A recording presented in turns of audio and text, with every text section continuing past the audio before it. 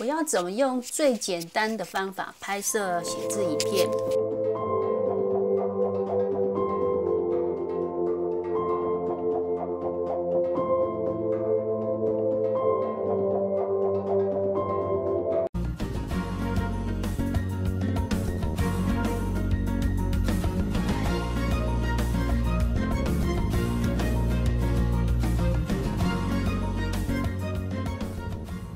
大家好，我今天不写字，而是要跟大家分享啊，我要怎么用最简单的方法拍摄写字影片，而且不会挡住视线哦。有好多朋友留言问我，我的摄影镜头到底放在哪里呀？是手拿着拍吗？还是放在胸前？或者是用 Google 的微型摄影机夹在我的眼镜上？竟然还有人问我是不是把 GoPro 绑在额头上？不要这么专业好吗？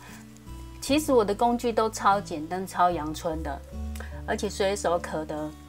就是只要准备两样东西，一个就是摄影机，另外一个就是电高物。那摄影机呢？我是只用手机，我个人的手机是用 iPhone 八 Plus，它内建的摄影功能。在竞拍的部分还算蛮清楚的，那大家可以看一下你自己的手机，大约在二十公分的距离拍摄下，它的清晰度是不是可以满足自己的需求？而且现在很多厂牌的手机摄影功能其实都还蛮强的，就不一定要用专业的摄影机来拍了。那垫高物的部分呢？你只要准备类似像几本书。或是花瓶、罐子、杯子这类在上方比较平整而且比较稳固的东西就可以了，就是让你的手机不会掉落就可以了。那手机该怎么摆放呢？这是很多朋友问我的问题。我今天就教大家两种比较不会遮蔽住视线的摄影方法。你若是要拍横式或者是正方形的影片。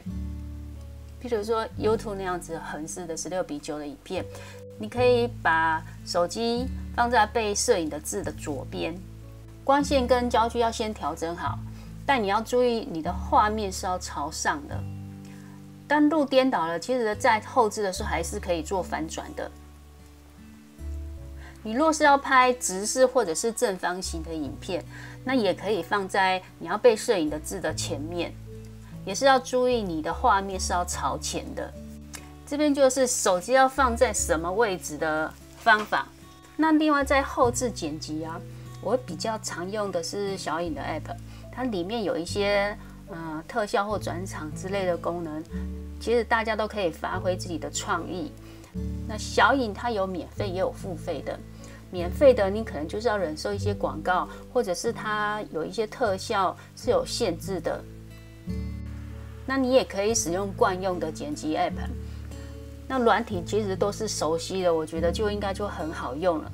很多太花俏的特效啊，在写字影片里面好像其实也用不太到。另外，我在拍长影片或是 MV 歌词的时候，我基本上都是使用翻拍架来做斜拍的，觉得斜拍的那个画面比较唯美一点。那镜头的摆放，我大概就是。会把它架在我左手边比较偏低的位置往上拍。那翻拍架呢？我其实个人也只只有使用过两款。那画面中的这款是我第一个用的翻拍架，可是呢上个月被我弄断了。后来呢？后来我又买了现在的这一款，它可以上下左右的调整。在手机架也有很多的方向可以扭转，只是因为我的桌面空间实在很有限，我也常常要扭好久才会调到我想要的角度。今天这一集就是我个人的摄影工具跟方法，希望有帮到大家。如果你喜欢我的影片，记得帮我按个喜欢和订阅，谢谢大家，拜拜。